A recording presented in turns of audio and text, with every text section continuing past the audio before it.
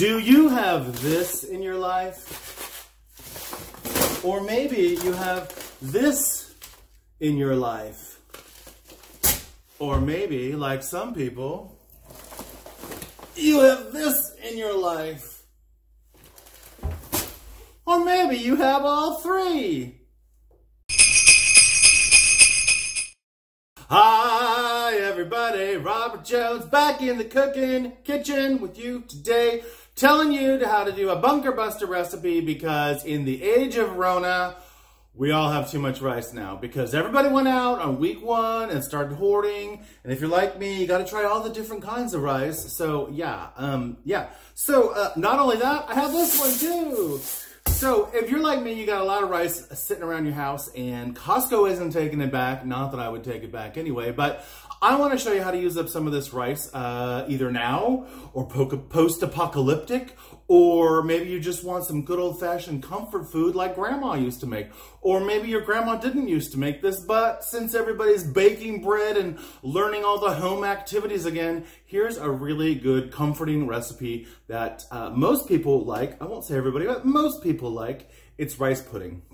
Rice pudding is delicious. It's basically rice, made into a custard with milk and eggs and some sugar and some flavoring. It's super, super easy. This is a great way to use up rice. Uh, you can make it fresh rice made Make it fresh rice made. Make it with fresh rice. You don't have to use water. You can cook the rice originally in milk for more richness. But today I'm going to show you how to use rice that's already been cooked. Maybe you got delivery, you have some extra, you made some extra last night for dinner or the other day or whatever else. I'm going to show you how to use it up. Anyway, uh, this recipe can be used with white rice. It can be used with pearl rice, the Japanese style sushi rice. It can be used with calrose, basmati, Thai rice, uh, what else? Jasmine rice, I think is what we're using today. And you could even use it uh, with brown rice. So if you have brown rice, I just recommend cooking it a little bit longer uh, till it gets to the getting kind of soft stage because otherwise um, the custard doesn't soak in and it doesn't taste so good. Anywho, let me show you a storage idea for how I store rice normally. So uh, this is a one gallon container uh, for water. Uh, I dry these out, clean them, and then uh, take the label off, and then I put the rice in here. So sometimes when you get the like the three pound bag at the grocery store, I also, if you can see, I cut the recipe, I put it in there. Um, I know how to cook this, but if anybody else is in my kitchen, then I have the recipe in there. They can just tip it over, pull the recipe out, read it, put it back in the bottle, and it's specific to this type of rice. Oh, it's also Cinco de Mayo when I'm filming this, so arriba! Anyway, um, so yeah, we're gonna be using a jasmine rice today. I've already cooked the rice. It's in the pot, it's ready to go. So we're gonna show you how to do that. So let me show you what I do with these. So yeah, these water bottles I think are really handy. Um, in my kitchen, I happen to have some drawers that they fit in. So in the cupboard down here, boop doop, pull this out. Check it out. They fit super nice in here. Just drop in the rice. Look at that fits nicely in there. Um, got a little extra storage in the back. But uh, even if you don't have a slide out drawer like this, fitting them in the cupboard, you can also put them on their side. So just in case you're curious, uh, this is brown rice and brown rice. This is some dry corn used for pozole and things like that. That's popcorn. That's some uh, Peruvian beans. That is some coffee. That's just whole coffee. Keeps really nice. Some sugar and the rice we just put in and just a some, oh, that's, that's turbinado sugar and white sugar. So there you go. You see how easy that is. And super cheap storage. Today we are going to be making a double batch, so I have four eggs total. If you're making just a single batch, you only need two, two eggs for this recipe. And since we're going to be making a custard, every good custard starts with eggs and also with milk. So we're just going to crack the eggs into here. Also, if you overbought on eggs, this is a good way to use up some eggs. There's always a, a good way to use up eggs, if you ask me. And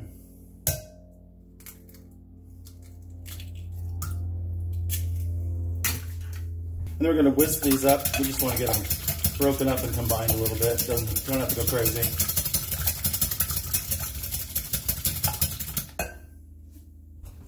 Okay, then we're gonna measure out uh, three cups of whole milk. Now, I don't have whole milk. I have a regular milk and I have some uh, half and half. So we're gonna make our own by doing two thirds regular So we want three cups total. So here's two cups of milk. And here's one cup of half and half. Or you could do all half and half if you want to get crazy. Make it a little bit richer. And then again, we're just going to put this back in here.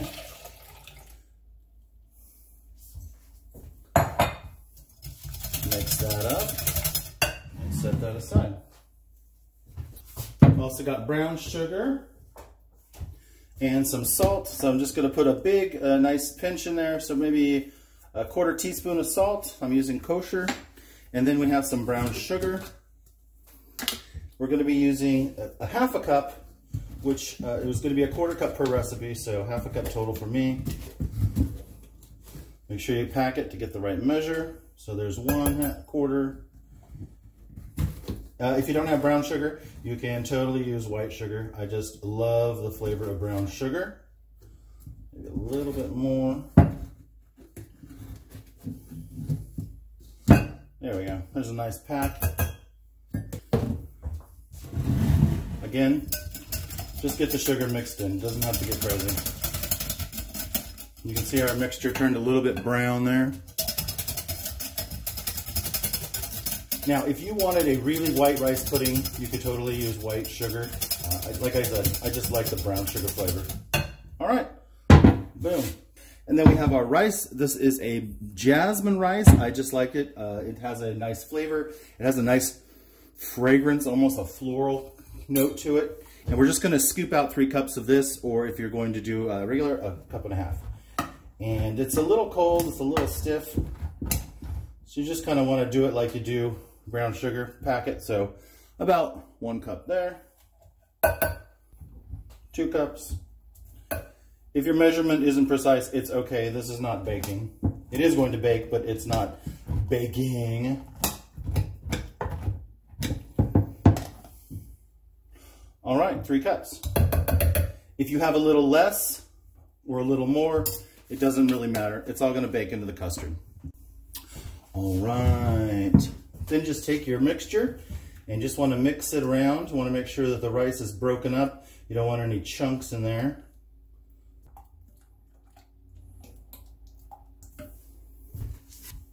Okay, we can set that aside. And then I just have a plethora of these dishes. These are great. They come uh, with uh, lids that can go right in the fridge, but they can also be put in the oven to bake. So what I'm gonna do is I'm gonna set these out and I'm just going to spray them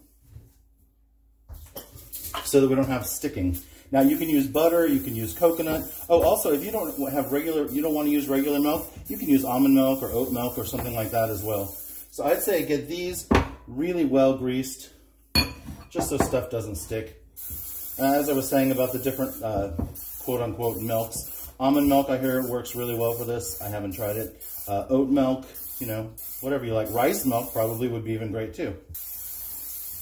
All right.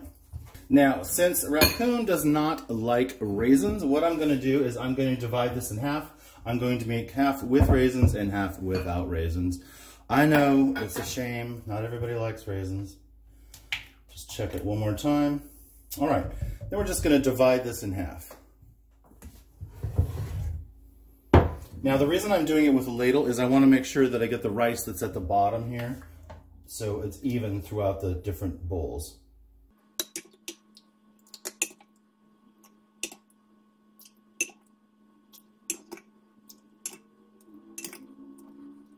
Get it all. Okay. So I didn't know exactly how many of these we're gonna need, but it looks like we only needed two. So those are easily washed. Okay.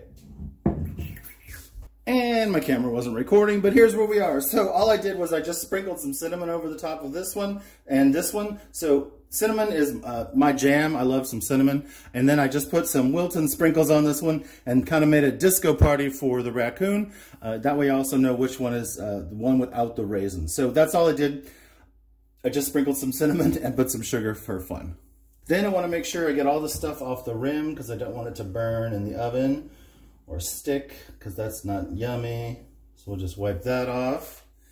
And especially this one because we don't want the sugar to burn.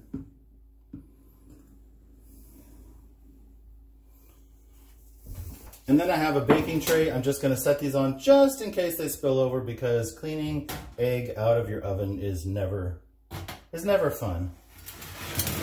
So there you go. Okay, let's put these in the oven. We're gonna cook these at 375 for about 45 minutes until the uh, the egg is jiggly. So it should be like a custard, like a flan if you're used to that. I'm not gonna cook these in a bain-marie because I don't really care that much and I would rather have it get a little crispier or a little bit drier just so the pudding is nice. So, all right, let's pop these in the oven.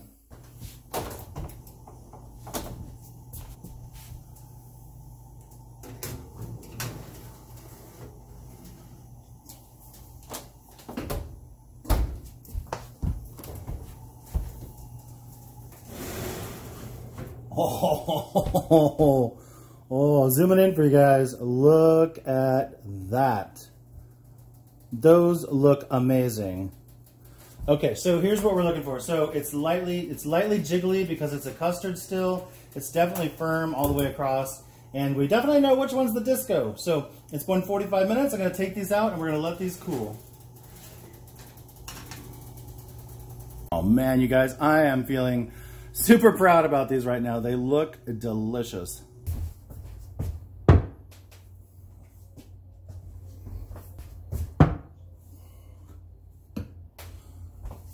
All right, I am feeling super proud about these, you guys. I think they look amazing.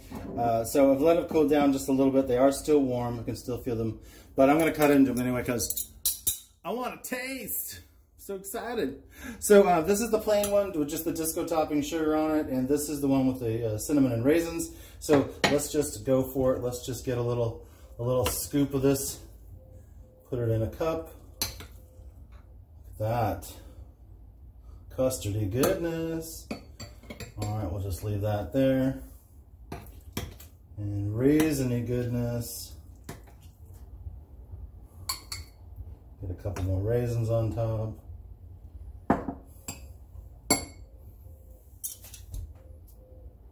Oh, look at that. rice pudding, you guys. I'm so excited. So I cut it open here. You can see the raisins in there. It looks really good. It's nice and firm. It's still hot. It's still steaming. Can you see it? Yes. All right, let me show you the other one. And here's our disco party one. I wanted to be able to see the pudding inside there, just the colors on top. It is the moment you've been waiting for. Okay, you guys, we got two, both of them here. We've got the disco party pink one here, and we've got the traditional with the raisins. So let's try the, the disco party one first. Um, there is no taste involved. It's just a colored sugar, you guys. So that's all you need to know about that. It smells ricey and eggy. It smells delicious. All right, let's take a little look. It's, it's a little thick. It's all right. I'm just concerned about being hot. Mmm. Mmm. It's not too sweet. It's very lightly sweetened. In fact, if I would, um, if I were to make this to my taste again in the future, I think I would add a little more sugar to it. But um, it tastes delicious. So let's get a little more of the top where the sugar's added.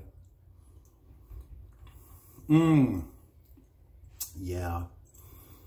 I don't know if your grandma made this for you, but in the time of Covfefe, this is a down home, lovely dessert for home time. All right, let's try the ones with the raisins. I am all about raisins.